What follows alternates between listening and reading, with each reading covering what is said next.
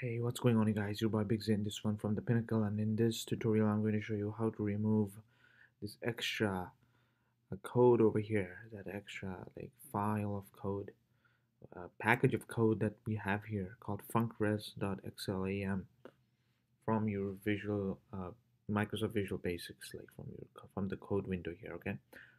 So this is like an extra add-in for your Excel uh, and you need them needed for here I'll show you what you need it for. That's for the analysis ToolPak okay? So go into tools and Excel add-ins will show up there. Click on it. And analysis ToolPak option is checked see?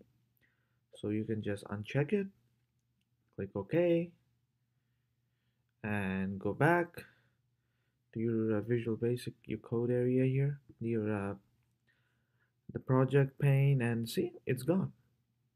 So it's pretty simple. Just like that, you can get rid of the funcres.xlam, but if you want it back, you don't have to do much. Just go in, go into Excel, Excel add-ins, analysis ToolPak, click click that option, and uh, okay, there you go, it's back. See, it's pretty simple. So that is how you get rid of the funcres.xlam from your Visual Basic editor. Okay, I hope this makes sense to you guys. Don't forget to subscribe. Thanks for watching. Bye-bye.